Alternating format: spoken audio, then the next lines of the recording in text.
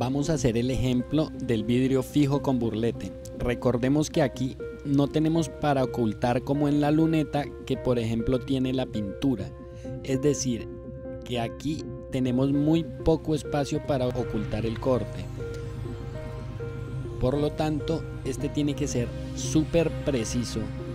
Lo positivo es que los burletes son de pequeño tamaño, es decir, que no tienen tanta distancia, lo cual nos permite hacer un corte más preciso, en la manera que a ustedes les parezca, haciéndolo así, marcándolo como sea. Yo tengo esta metodología que suelo utilizar y es copiando el borde de la goma, voy cortando. Esto lo van a tener que practicar,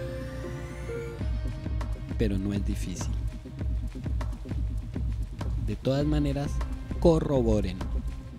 Yo aquí lo voy a ver y está como yo quiero. Le voy a hacer esta punta. Siempre hay que mejorar esa punta. Esta también se mordió un poco. Pero ahí está. Lo más exacto posible tenemos que copiar la lámina en el burlete. De esta manera vamos a ingresar y vamos a colocar. Pero vamos a ver algo muy importante.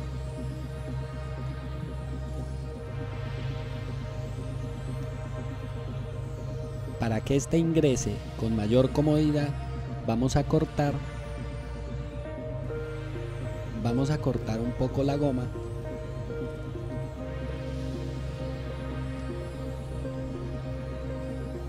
para darle un espacio extra. Ahora tiene un espacio extra. Esto es más que todo para que la lámina no choque y pueda salir el agua y no vaya y vuelva.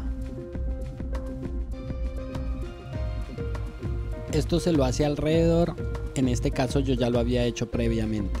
Lo limpiamos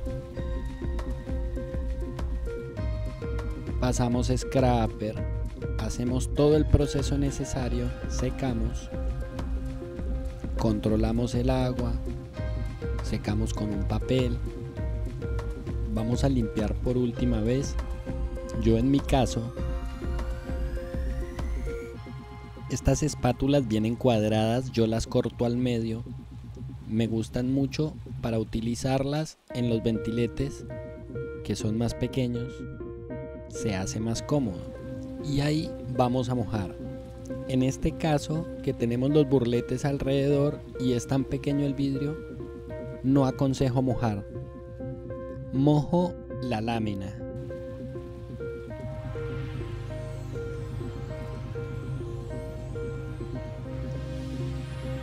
Y la colocamos.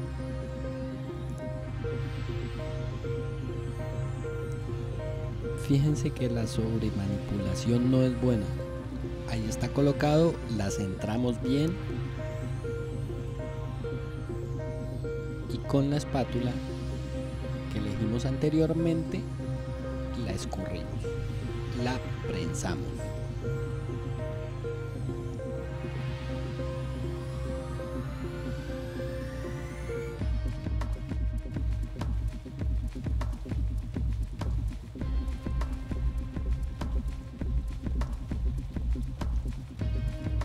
Vamos a secar todo lo que mojamos. Y de esta forma finalizamos la instalación del vidrio fijo con burlete